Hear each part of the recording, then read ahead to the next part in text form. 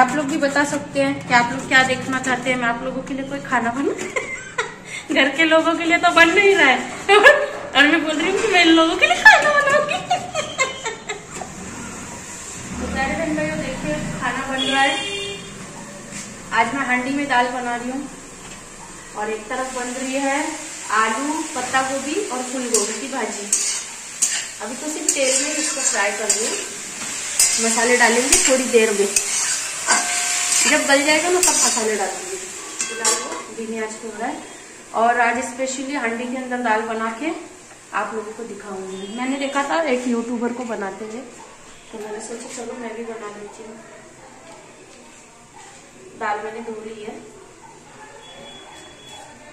यह है अदरक, लहसुन और मिर्ची। नहीं, वैसे मैं रेसिपी नहीं बता रही हूँ। बस ऐसे ही बना रही हूँ तो बता रही हूँ।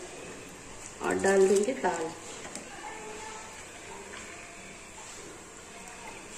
पहली बार मैं ना ऐसे बर्तन में बना रही हूँ, वरना कुकर में ही बनाते हैं। कुछ गड़बड़ नहीं होना चाहिए। तो ये हमारी भाजी को बीच बीच में चला के रहना पड़ेगा, क्योंकि ये सीज़न की सब्ज़ी है ना, जल्दी गल जाती है। ज़्यादा टाइम नहीं लगता। टमाटर धो लेंगे। टमाटर कम डालेंगे सब्ज़ी के अंदर, क्योंकि फिर क्वांटिटी ज़बरदस्ती ज़्यादा हो जाएगी टमाटर को कद्दूकस करके डालना पड़ेगा। मजबूरी है मिक्सर की। बैंड गई है। आप लोग भी बता सकते हैं कि आप लोग क्या देखना चाहते हैं। मैं आप लोगों के लिए कोई खाना बना घर के लोगों के लिए तो बन नहीं रहा है। और मैं बोल रही हूँ कि मैं इन लोगों के लिए खाना बनाऊँगी घर के लोगों के लिए मुश्किल से बना रही हूँ मुझे क्या ना ज़्यादा खाना बनाने आ, आता है लेकिन मुझे पसंद नहीं है। आता है नारिक मुझे सब कुछ खाना बनाने? हाँ सब बना लेती है। हाँ। पर लेकिन बात ये कि मुझे शौक नहीं है इतना कुकिंग करने का। पर आप लोगों के लिए कर दूँगी मैं। हमने दाल के अंदर या टमाटर डाल दिए।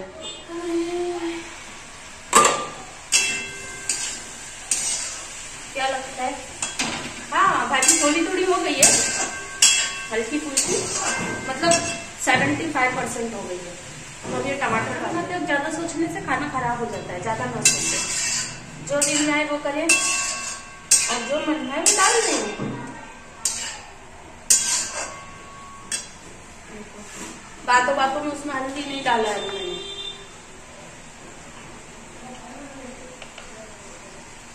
कलर के लिए हल्दी डालनी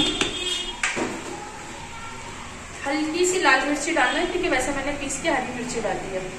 हम लोग लाल मिर्ची ज़्यादा नहीं खाते। ये है एक तरीके का मसाला जो है, गरम मसाला, इसको डाल दिया। और कुछ घर में जो भी मिले सब डाल दी। सोचे नहीं, जो डब्बा सामने दिखेगा, ये डब्बा लाया, ये डाला। नमक डाली क्या मैंने भाजी में?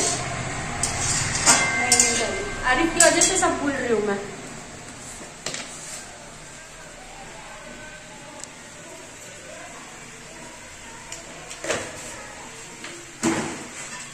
ये हमारी आलू गोभी और फूल गोभी, बंद गोभी सारी गोभियाँ डाल के बनी हुई भाजी। अब इसके लिए को हरी मिर्ची भी डाल देते हैं।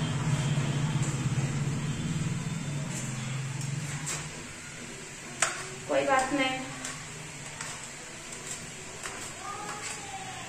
टमाटर की है ये गंदी नहीं है, इतना टेंशन कोई लेना नहीं। मैं नहीं भेजी तो कोई देगा।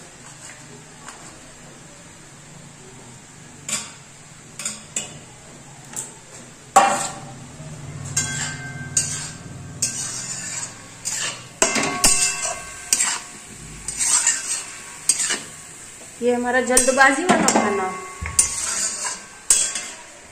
हमेशा जल्दबाजी में ही खाना बनाने का, तभी अच्छा बनता है। ज़्यादा टाइम लेके बनाते हैं ना, उसी दिन खाना खराब हो जाता है।